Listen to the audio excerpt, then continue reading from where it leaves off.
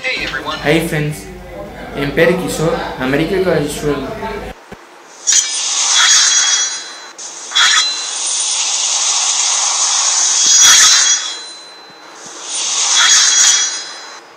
Tenth twelfth இந்த ரெண்டு standard படிக்கும்போது எல்லா பேரண்ட்ஸும் டியூஷனுக்கு அனுப்பிச்சு ஒருத்தன் வந்து மக்கப் பண்ண சொல்கிறாங்க அது வந்து பரீட்சையிலே மறுபடியும் மறுபடியும் படிக்க சொல்கிறாங்க ஒரு பேரண்ட்ஸ் வந்து ஒருத்தவனோட கற்பித்தல் திறன் அதிகப்படுத்த நினைக்கிறாங்களா இல்லை படித்ததே திரும்ப திரும்ப படிக்க சொல்கிறாங்களா அதாவது அவங்களுக்கு வந்து ஒரு வண்டியை ஒர்க் ஷாப்புக்கு போய் சர்வீஸ் பண்ணணும்னு நினைக்கிறாங்களா?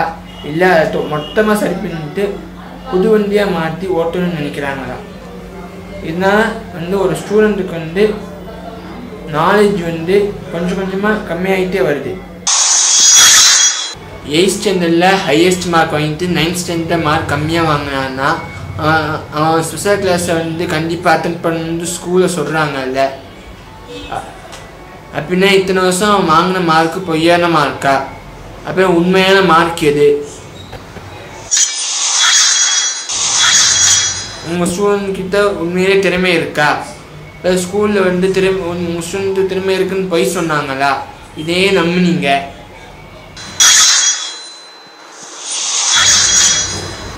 அப்படின்னா உண்மையிலே உங்கள் ஸ்டூடெண்ட் கிட்ட என்ன இருக்குது எவ்வளோ திறமை இருக்குது அது எப்படி தெ அது எப்போ தெரிஞ்சுக்கிங்க?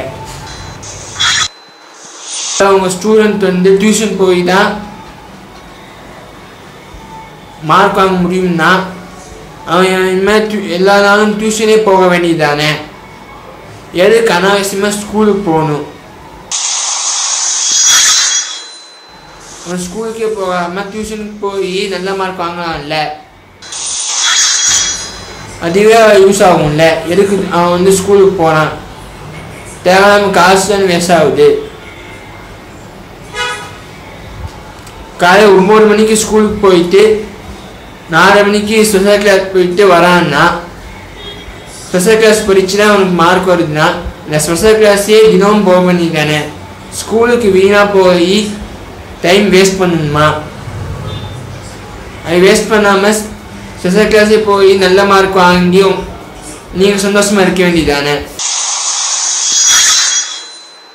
டாக்டர் வந்து எல்லா பேஷண்ட்டோட வியாதிகளையும் ஒன்றா பார்க்குறது இல்லை தனித்தனியாக தான் பார்க்குறாரு அப்புறம் எப்படி ஒரு டீச்சர் வந்து ஒரு ஸ்டூடெண்ட்டோட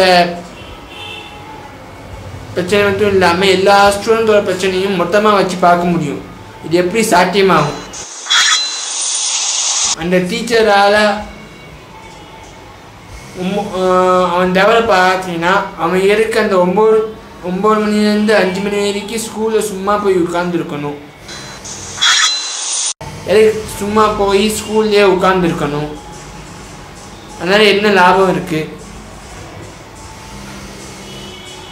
இப்போ எல்கேஜிலேருந்து யூகேஜி வரைக்கும் யூகேஜி வந்து நைன்த் வரைக்கும் ஒரு ஸ்கூலில் படிச்சுட்டு மறுபடியும் அதே டீச்சர்கிட்ட போய் படித்து மார்க்கை கம்மியாக வாங்குறதுக்கு பதில் அவனோட திறமையை வளர்க்குறதற்கு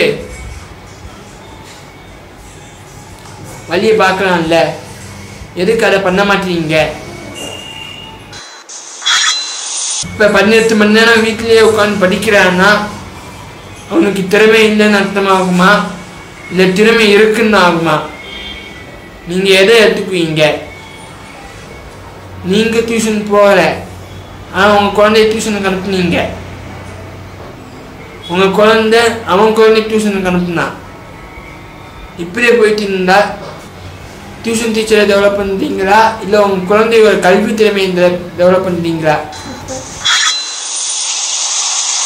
உங்கள் ஸ்டூடெண்ட் வந்து எப்போ டெவலப் பண்ண போகிறீங்க நீங்கள் டியூஷன் டெவலப் வந்து உங்கள் ஸ்டூடெண்ட்டோட கல்வி அறிவை டெவலப் பண்ண வேண்டியதானே அதாச்சும் உங்களுக்கு யூஸ் ஆகும்ல. எதுக்கு இப்படி கம்மியாக யோசிக்கிறீங்க? கொஞ்சம் அதிகமாக யோசிங்க. இப்போ நிகழ்காலத்தை யோசிக்காமல் வருங்காலத்தை யோசிச்சாதான் உனக்கு ஒரு ஐடியா வரும். இப்படி கம்மியாக யோசிக்க வேணாம்.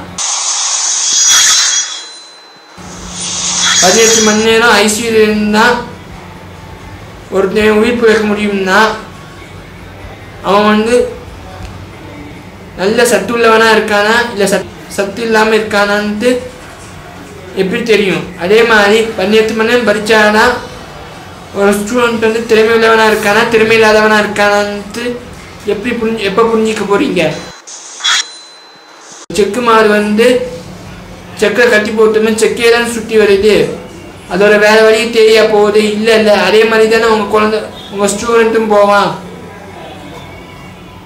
அவன் வழி தேடி போகணும்னா கல்வி அறிவியலை வளர்க்கணும். இது ஒரு பதில்கள் இந்த இன்டர்நேஷனல் லேர்னிங்கில் தான் இருக்குது நன்றி.